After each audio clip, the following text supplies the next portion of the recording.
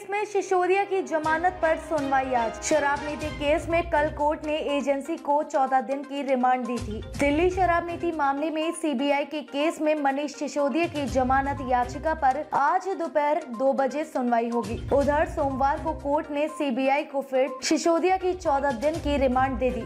जाँच एजेंसी ने उन्हें 26 फरवरी को 8 घंटे की पूछताछ के बाद गिरफ़्तार किया था। 27 मार्च को एजेंसी ने उन्हें कोर्ट में पेश किया। कोर्ट ने सिसोदिया को सात दिन 4 मार्च की सीबीआई रिमांड में भेज दिया। फिर 4 मार्च को अदालत ने एजेंसी को पूर्व डिप्टी सीएम की दो दिन 6 मार्च की कस्टडी दे दी थी। वहीं 6 मार्च की सुनवाई के दौरान कोर्ट ने सीबीआई ने कहा था कि सिसोदिया की ओर रिमांड नहीं मांगी जा रही है, लेकिन अगले पंद्रह दिनों में ज़रूरत पड़ने पर दोबारा कस्टडी मांगी जा सकती है। इसके बाद कोर्ट ने सिसोदिया को 14 दिन 20 मार्च की न्यायिक हिरासत में तिहाड़ जेल भेज दिया था। यहाँ से उन्हें ईडी ने गिरफ़्तार कर लिया था। बता दें कि सीबीआई और ईडी दोनों ही शराब नीति केस की जाँच कर रही है। फ़िलहाल सिसोदिया 22 मार्च तक ईडी की कस्टडी में है। इसलिए सोमवार को ईडी ने उन्हें वीडियो कॉन्फ्रेंसिंग के ज़रिए राउज एवेन्यू कोर्ट में पेश किया। स्पेशल जज एम के नागपाल ने 3 अप्रैल तक कस्टडी बढ़ाने के बाद कहा कि सिसोदिया की जमानत पर सुनवाई 21 मार्च यानी मंगलवार को होगी।